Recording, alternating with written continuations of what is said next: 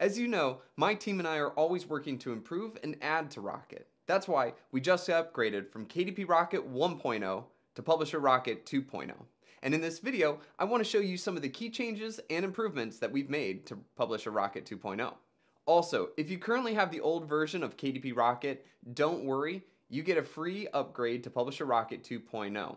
I personally hate it when software companies make people pay again when they only made their software better. So enjoy all future updates and upgrades for free. By the way, if you'd like to stay up to date on the latest improvements to Rocket, as well as stay on the cutting edge of Amazon changes that affect authors, then be sure to hit that subscribe button and the little bell icon to the right so as to get notification of when my next video comes out.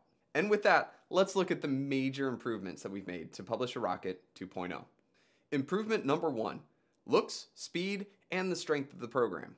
When I first created KDP Rocket, we only had two features, keywords and competition. Over the past couple of years, we added the category feature and then the AMS keyword feature. However, the infrastructure of the program became bogged down, slower, and we were limited in what we could do. So we redesigned Rocket from the ground up, making it much faster and even more reliable Plus, it now gives my team and I the ability to add even more features to it. We have more in the works that will be coming out very soon to include international markets, long-time market analysis on categories, new AMS keywords, audible data, and more. Improvement number two, book data.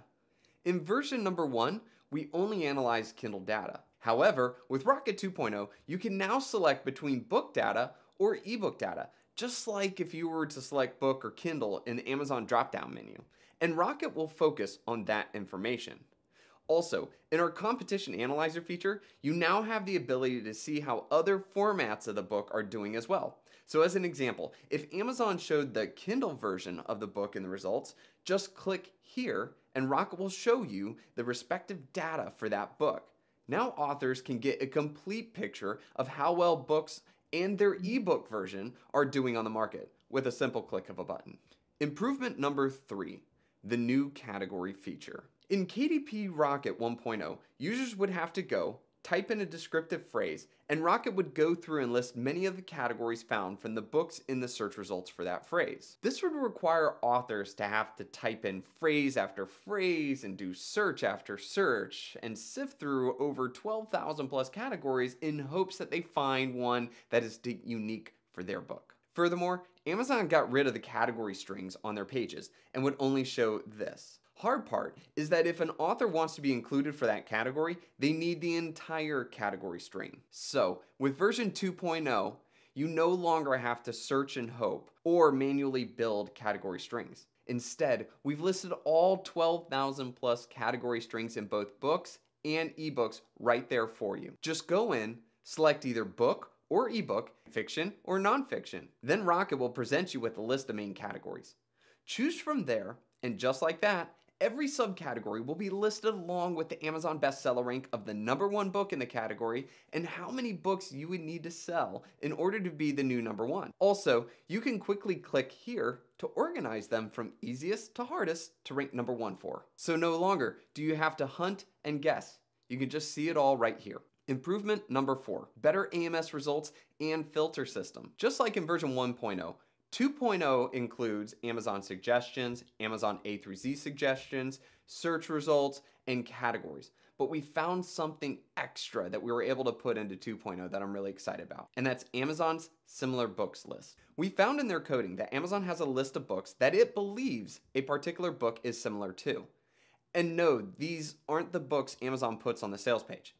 What's great about these is that because Amazon already believes these to be relevant, these keywords should have lower cost per clicks and give greater chance for more impressions. Plus, they're even more relevant to your search. Speaking of relevancy, one of the chief recommendations that Rocket Ads users would give is that there wasn't a good way to filter out information that they didn't want. Instead, users would have to go into the Excel export and clean it out manually. Well, that's no longer the case because in Publisher Rocket 2.0, we have two different ways in which you can filter out information to make your AMS export that much better. The first is our main filter system, which you can select the type of data you want to see or not, and then there is the specific data and where it came from down here. The second is on specific rows of data. If you see a book, you don't want it in your export, just unselect it here and it won't be put in the export. So there you have it guys. With Publisher Rocket 2.0, we've improved the speed and the functionality of the program. We've included a much better category system and we've even improved the results that our AMS keyword feature gives you. Plus, we now have much more room to be able to do even more things over the next couple of years. And as always, all Rocket users get free upgrades and updates as they come out. So we're going to continue working to make sure that Publisher Rocket is by far the best out there. And with that, I thank you guys very much. I hope you enjoy the new changes. And as always, we'll be on support to help. Cheers.